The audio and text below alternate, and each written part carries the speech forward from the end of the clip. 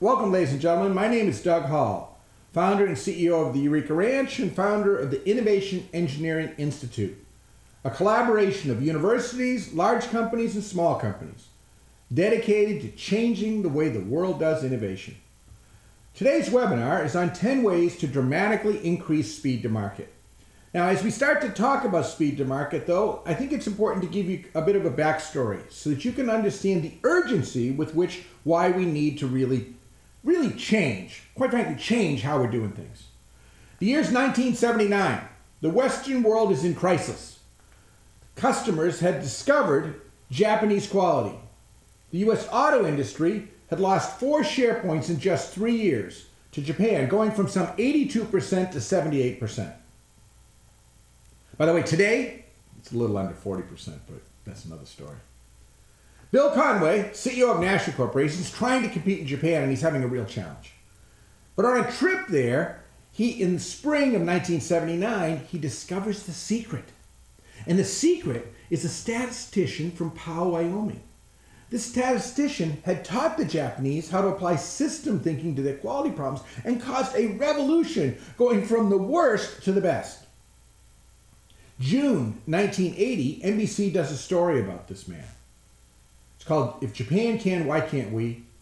And a transformation happens.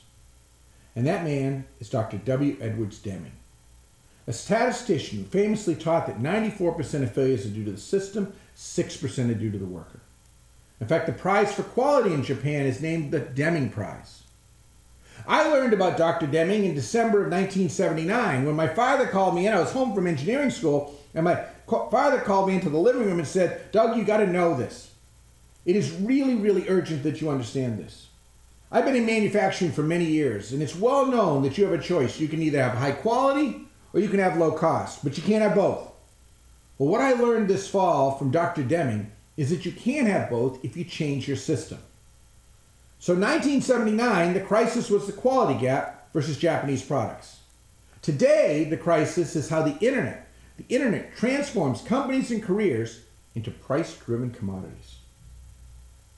The internet's power is unbelievable. It's created competition global and everywhere. You don't even know see them coming creates price value transparency. I mean, the customers know exactly what they're getting in the price, and they have far more control than they've ever had before, and they can learn the real truth. The internet, with its exchange of information, has also transformed how knowledge is transferred. Look at the growth in US patent applications over the last number of years. And when I overlay the internet, the number of internet users, you can see it literally is an exponential by people who could never before get to information, could get to find, could do searches, can now do it, can now connect to universities, can learn. It's unbelievable. And two out of three of the patents are from somebody born outside or owned outside the USA. So it is truly a global phenomenon. The impact of the internet is not just for those small companies, it's for the biggest of the big.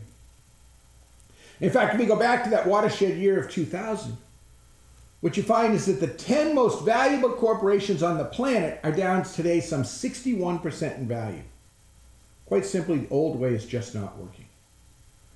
Now, here at the Eureka Ranch, we've been doing this for a lot of years uh, 35 or so, 36 maybe, years.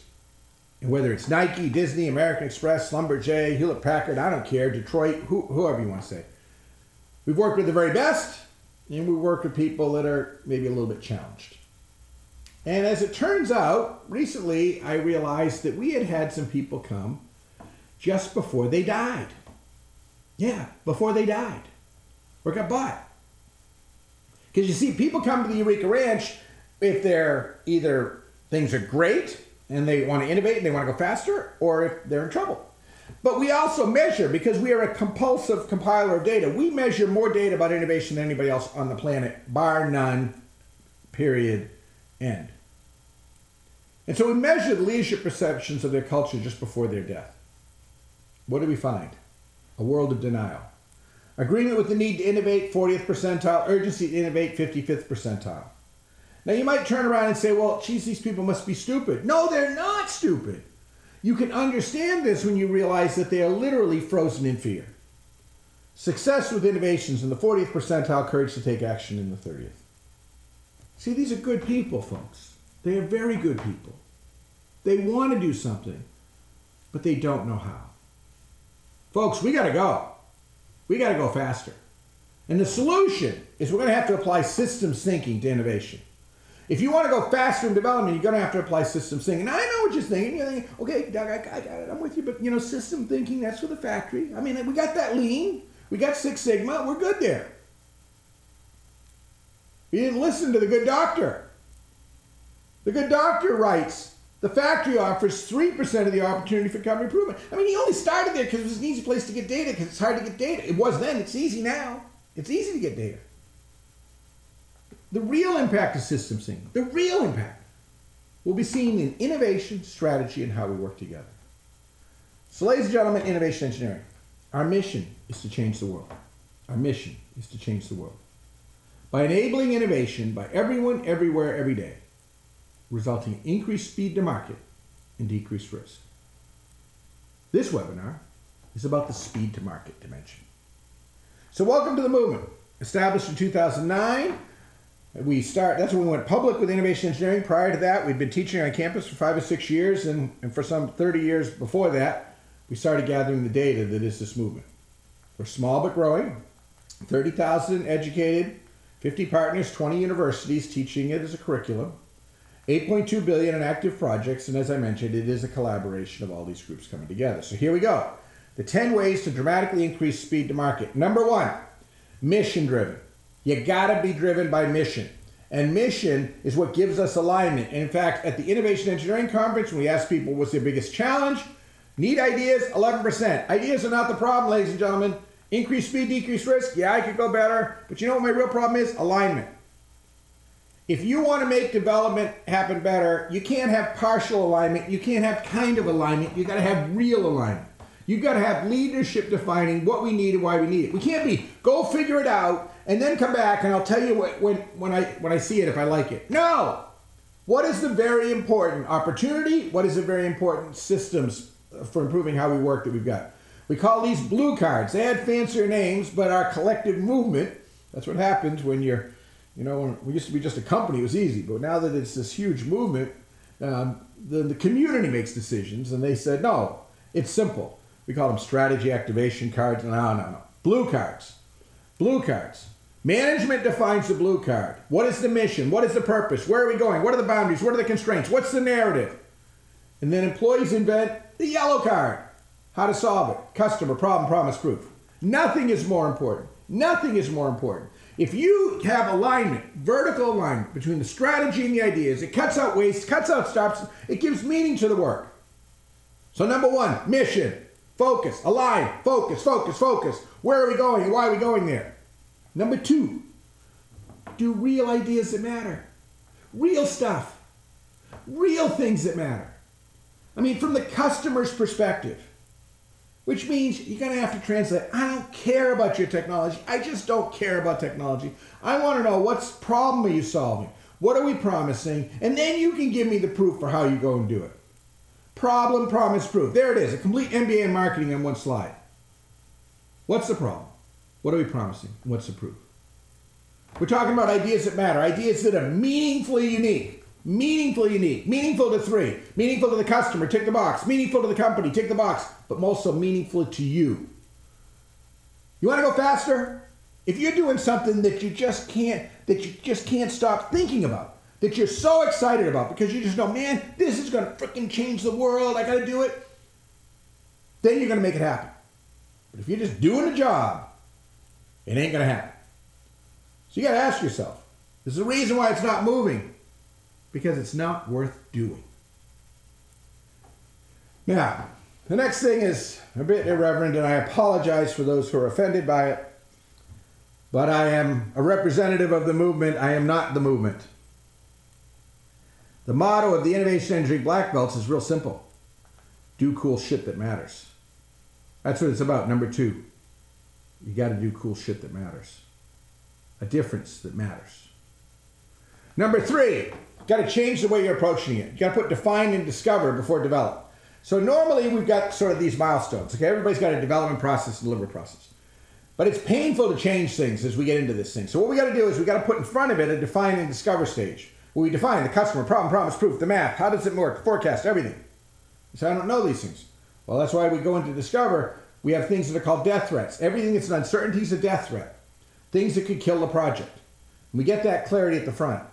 Now, we also take each of these things and rather than just give them tasks, so it's a 10 gauntlet that you got to run, or gauntlets of gates or whatever, we're going to take that system that you've got and we're going to upgrade it. So we're going to take your stage gate and we're going to upgrade it.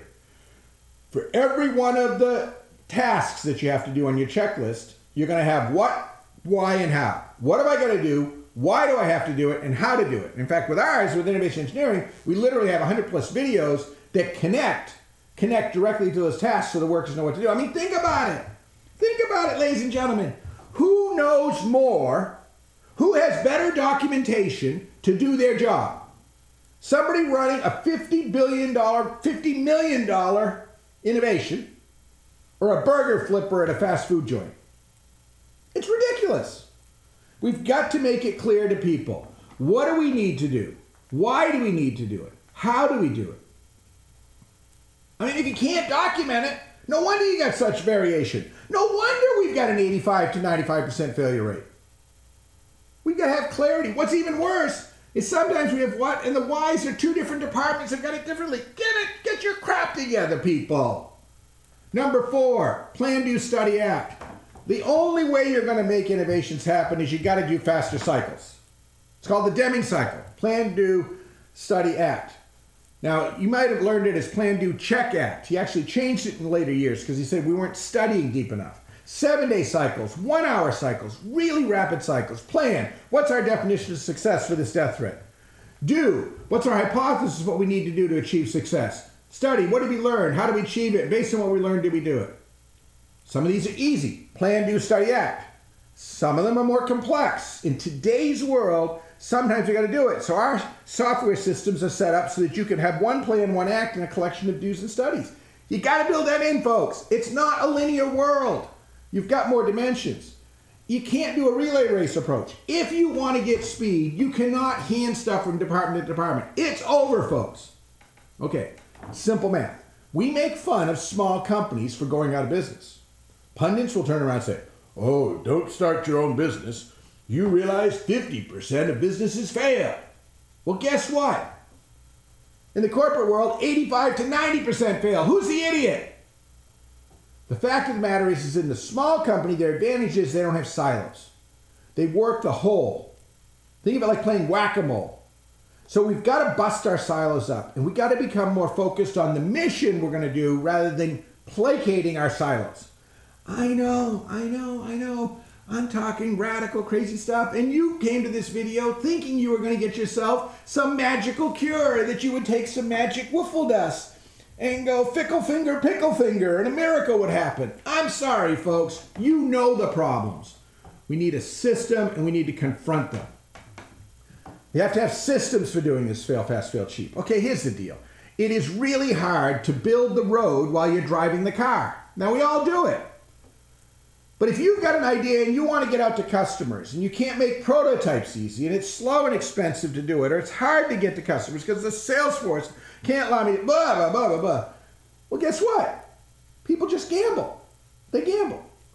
You know, when it comes to prototypes, there's a bunch of different ways you can do it. You can do a looks like prototype, a works like prototype, or a works and looks. And generally, these are more expensive. So if you want to save some time and money, separate it say, okay, here's a proof of concept of what it could work like. Here's a look like pretty picture of it, and do them separately.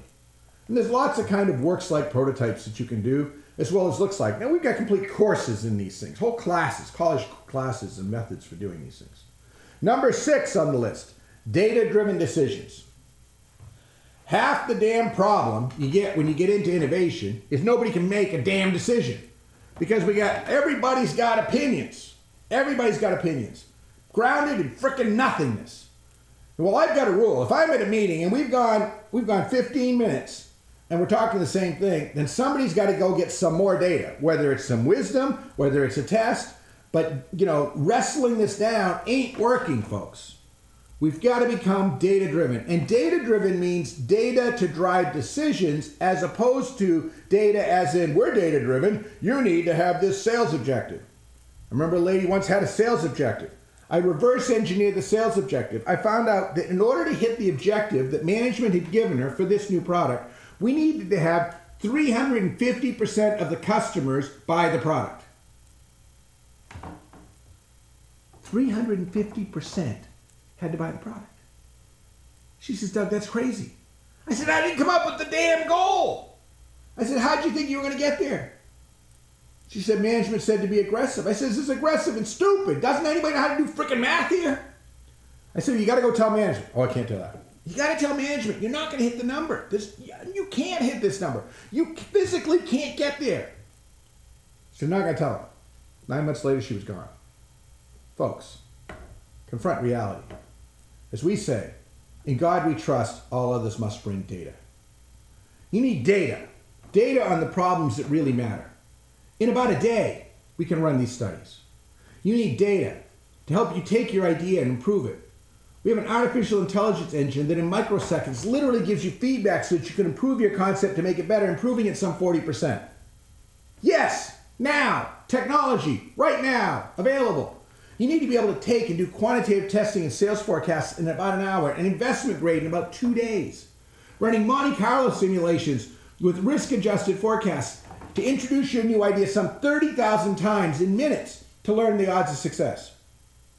Okay, so I, I got it. I got it. You're sitting there, you're saying, Doug, Doug, you're being compulsive again on me. I didn't I tell you? I just wanted some waffle dust. One of the things I'm most proud of is a, a up in uh, Winnipeg, the provost of the university up there. He went through an innovation engineering experience that I did.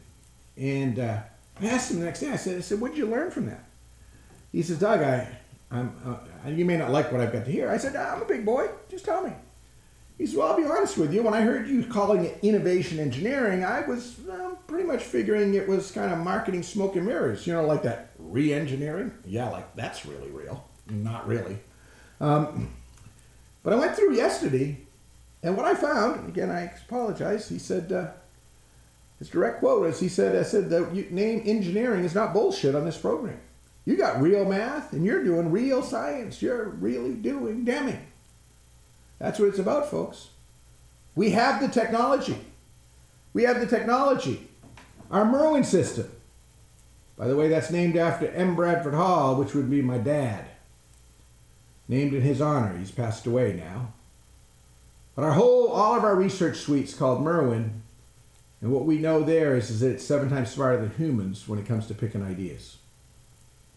Next up, collaborate to accelerate. Number seven. Okay, so this is the real challenge, folks. It's almost impossible to get people to collaborate. In our survey, big surveys, 12,000 plus, we find that 9 out of 10 people don't cooperate well. What we're talking about with this is multiplying capacity. What would normally take you weeks, you can now take, take somebody else's sec hours. We're talking about thinking capacity. We're talking about creating capacity. We're talking about doing capacity. We're talking about opening up our minds with real uh, cures for doing this, many to many systems, four tiered security to drive out fear, and intrinsic motivation systems. Number eight, smart waste. Now, this one causes a lot of frustration for people because we've been so compulsive about cutting out waste that we don't start to build the prototype for fear that it's wrong. The result is, is it takes us frickin' forever. We got to build in some waste. We got to build in some issues. Systems for increasing speed overlapping tasks, standardized components, modularity. They, okay, so you don't end up with the total lowest cost, where sometimes you got to literally throw parts of it away. You know, the famous story is the IBM PC. They didn't know if it was going to go to um, cassette tapes or disk drives. They said it would take them nine months to figure out, so they said, damn it, put them both in. They put two ports in. When it went to floppy disks, they took the other one out. They accepted the waste in order to get speed. When you've got real sales forecasts, I can actually put math to the value of doing that. But if you don't have sales forecasts, then everything is an expense and you're not going to go. Number nine, borrow free stuff. Okay, folks, there is incredible stimulus mining. wisdom mining academic articles. I've become very wealthy on academic articles. They, they, they put this out. It's truth beyond a reasonable doubt. Patent mining, patents literally tell you how to. They are the blueprints on how to take an idea and make it real. Public domain ones are free. There's millions of them. Easy to find, the 50 or so in your subclass that you're looking for. No paperwork required. I got it, folks. They're written horrifically. I got that. But I'm telling you, somebody else has figured it out. And most of these inventors are so inept at communicating it, they got brilliant stuff that nobody's used. And even though they're in the public domain, if you take two or three and you put them together in a new, unexpected way, you can get a patent out of it. We work with David Kappos at the U.S. Patent Office. We have a complete 100% replica of the U.S. Patent Database, specially designed to help you find these. To help you find these. They're the best starting place to get your ideas and to get them going, to find inspiration and experts. And then this is wicked cool. So as it turns out, 250,000 times a, a year, patents go in the public domain because people don't pay their maintenance fees. So we've got a system that alerts you every Wednesday so that you can see these opportunities to buy patents really cheap.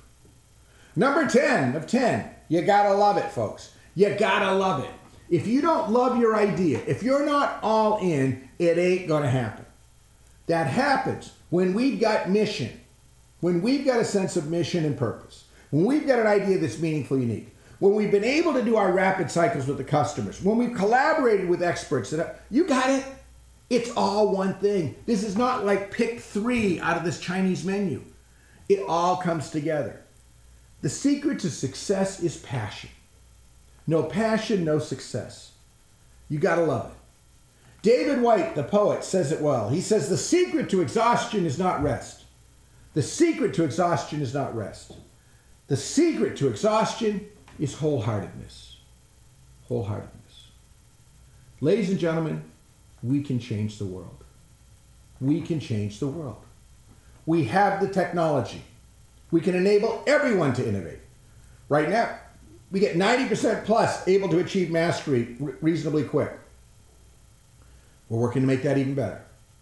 We can increase speed to market up to 6x. Actually, some are seeing even more, but I don't like to claim those because, quite frankly, um, that's because they're so inept to begin with. It's kind of like not fair to take a snail and, and do a time trial on it. You know what I'm saying?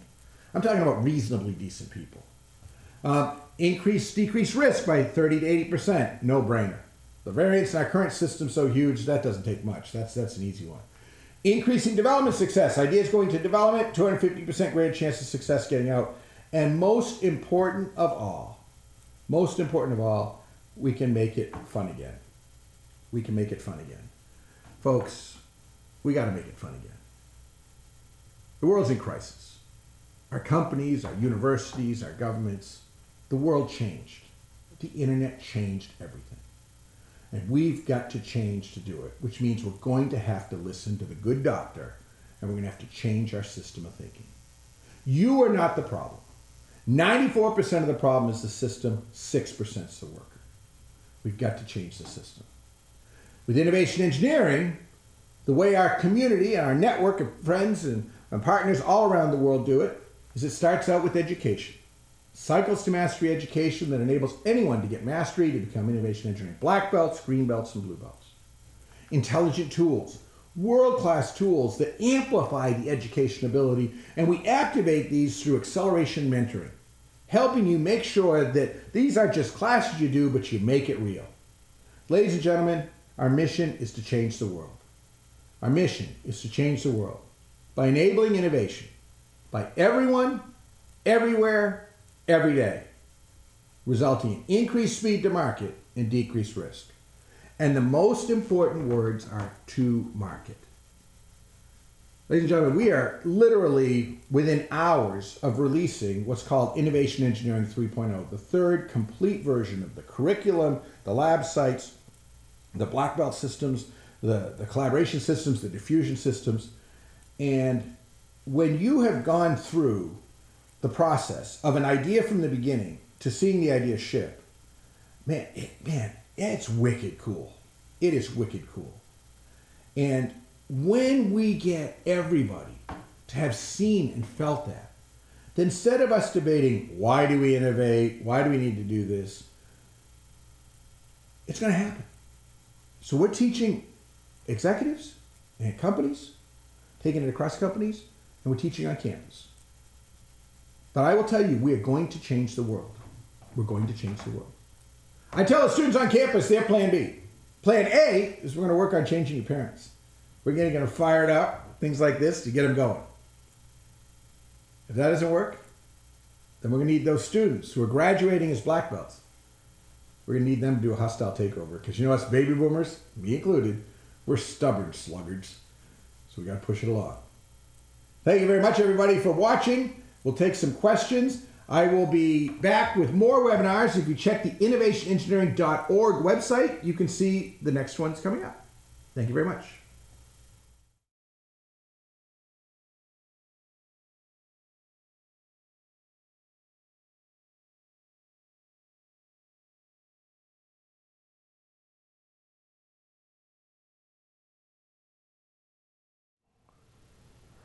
Okay, I've got a question here that says, okay, I see what you're saying, that we need to do this. The question is, what if management is not engaged? Well, I mean, I mean, I'll, I'll be honest with you, it makes it very difficult. Um, you can do it without management engaged. You can do it where management basically outsources this and, and gives it to you as something to go do.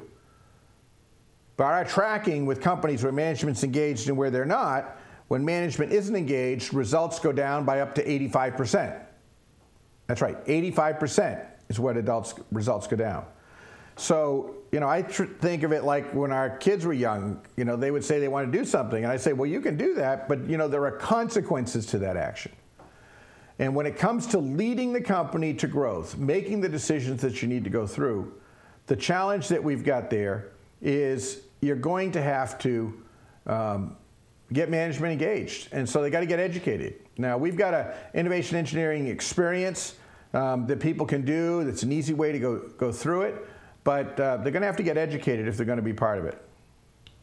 Um, I got a question. Attended an innovation engineering program. Can I sign up as an individual to get access to the tools again? Um, Currently, we do not have an individual membership to the tools. It has to go through an organization. Um, you mentioned a, um, if you contact your local, in your case, I think uh, you were near a university that was doing it. If you contact the university there, they may have a collective group or a co-op that they formed that can get you in, but, but we're not um, doing that um, right now. That's just not something that we're offering. Um, do you have a separate team for innovation or integrate it into your existing workforce? Uh, what percentage of the time should be dedicated? Okay. Um, absolutely integrated into the workforce. I mean, you, you got a choice. I mean, there's pains. Um, you can try to have a separate team create the ideas and then bring the ideas in and feel the pain as those new ideas go into the system and everybody's heads blow up. I mean, that's going to be painful. Or you can turn around and work with the organization and try to change the culture to get everyone everywhere every day innovating, which is basically teaching old dogs new tricks, and that's going to be painful. So the reality is is if you want to do something different, it's going to be painful. That's just life. And to me, what we're finding is that it is a lot easier to enable the organization and to teach them rather than set up separate teams. Now, Different from that is, is it is possible for you to do a centralized democratized. In other words, you can have a central team that leads sort of um, some of the corporate stuff, but that supports and the work is done by those in departments or divisions closer to the work. And so that's a hybrid model that does seem to work. But you've got to get the culture engaged because otherwise you're just going to do battles. Or even worse, even worse is this. The separate team comes up with the cool ideas. You then put them into the system. And so we have what we call core and leap ideas, ideas that are bigger game changers versus core ideas that are closer in. And a CEO recently I was talking with who's been doing innovation engineering, he says it's reproducible. He says every time we take a leap idea and put it into our system, it comes out looking like a core. In fact, it looks like exactly our own stuff. So even worse than the organization killing the idea is the fact that if you take ideas and you don't teach the people and you don't educate them on how to do it, then they will sandblast off the originality and now you'll have an idea not worth doing. Not worth doing. What considerations would you change for long cycle innovations, five to 10 years? Okay, so we've got, uh, we, I mean, one, it's beautiful when that's going on. Sadly, there is less of that than there needs to than there is right now, and, and we should have a longer term pipeline. In fact, one of the things we set up on blue cards is we set up on blue cards, is this an idea that is a short term idea or what i have dubbed uh, Route 66, an idea that could take up to six years and maybe even require six projects to accomplish? There should be a place there should be a place in organizations for longer term projects. The, the methodologies are the same, because even when they're long, we still want to go fast. We want to go through the cycles as quick as we can. Um, but sometimes there's just lead times on some of these things, it just takes time. But the principles should be the same. Um, can you please email us the 10 points? I will put these 10 points out um, at this this video, although I'll probably have to re-record the front because I messed up. By the way, that was my fault. I was told to hit the button and I didn't hit the button, so sorry. I'm doing three webinars today, and I guess I, I messed up on the first one, so hopefully I'll get it right in the next one. Um, I will put it out at innovationnews.com. If you go to innovationnews.com, if you sign up there, which is my blog, um, I will do a blog posting that has them there, and I will also provide a link to the video so that you can get to that. How can we make time for innovation when everyone has an operationally focused day jobs? In particular, how to best enable collaboration among many of these people. Okay, so here's, here's what I found out. You have plenty of time to do this. The problem is, is we're focused on a lot of stuff that doesn't matter. When we get the blue card set, where, where is the point of focus of what's in? What's very important to the organization? Then we have to go down through and say, are we focusing on those or not? You know, the fact is, is everybody's busy because within their silos, there's important stuff for them to do. But collectively, we're not making it work. And that's where it's up to leadership to say, what are the two, at most three things that are the things that can move us forward, that can make a difference, whether it's in the overall business or in a business unit. And so making decisions, famously, is about making decisions not only about adding this, but what you're going to stop doing. Stop doing.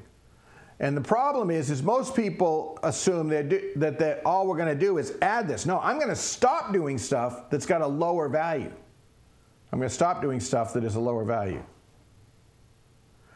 Are there examples of organizations where everyone has been trained in IE skills and tools? There are some small companies that have been doing it um, where they're starting to see those things. And we have some large corporations. This whole movement's only about five years old, and we're just now starting to roll it. So we've got um, some Fortune 100 companies where they've got you know thousands approaching you know multiple thousands of people that it's starting to go across, and so it's just now starting to get across there. So in large organizations, no, we don't we don't have that yet.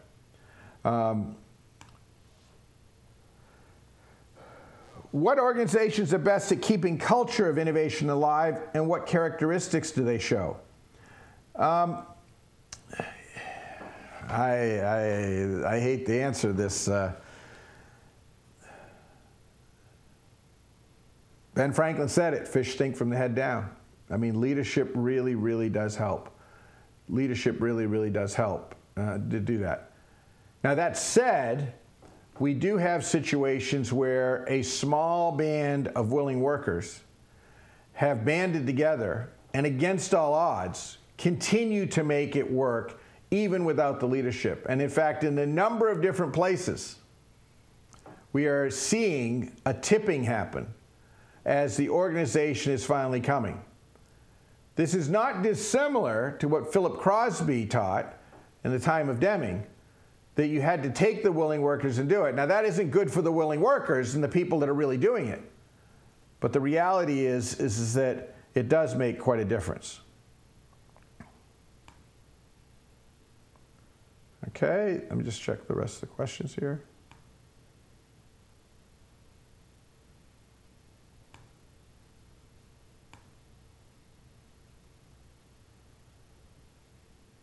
Okay, the question is This sounds painful. This sounds really hard. Um, well, ladies and gentlemen, um, I think it was best said by a provost at a university who attended the Innovation Engineering Experience recently. And I said, What did you learn? He said, You may not like this, but when I first heard you saying innovation engineering, um, I thought it was sort of like a marketing gimmick, you know, like re engineering. They really didn't have any engineering in it. But he said, What I've learned is, it's again, I apologize, but he said, uh, that engineering's not bullshit. This is real work. But the good news is, is you've got structures and systems that can really make it work. But people are going to have to take the idea of growing their company seriously. And for many years, we haven't had to. I mean, the fact of the matter is, is that for many years, companies didn't have to. Before we saw the transformation, and again, you missed some of this video, but before we saw this, before this internet took off, you didn't have to. You could have a product, you could have a service, and nobody knew that you didn't have a very good one or that there were people that had one that was better, and you could get away with it. Well, today that doesn't work, folks. See, the fact of the matter is, is if I look at that graph and I look, it's hard, you can't see it from there, but if I look around 2000 and I look at 2008, here's the deal. The world has changed. It's not going back. And it isn't done yet. Only 40% of the world is connected to the internet right now. It's going to get bigger. It's going to be more. And there's somebody somewhere sitting in Africa, sitting in Northern Ireland, coming up with an idea that can transform things. Now, we can either be a part of this or we can be a victim of it. And to me, what this movement's about is that we've brought together a group of people who say, there's got to be a better way. And we can do this. But the world is not going back. It's not going to go back. The old days are gone. And if you don't like it, retirement is an option. I mean, the research shows that those people, it is either the best of time or the worst of time for companies. And companies that get it are cranking forward. They're changing the culture. And companies that don't are going to die. It's kind of that simple. That's the transformation that we've seen. That's the transformation that we've seen. Our time is up. I'd like to thank you very much. I apologize. Um, I will re record this cleanly at the front, um, and we will post it clean so that you can go through it, and I will post it on the blog. If you'd like further information, if you go to innovationengineering.org, you can get more information. And in fact, the, uh, that website is about to change today. It's actually going through an upgrade today. So in fact, if you go later today, you'll actually see the new version of the site as it, as it goes through a major upgrade today. Thank you very much, everybody.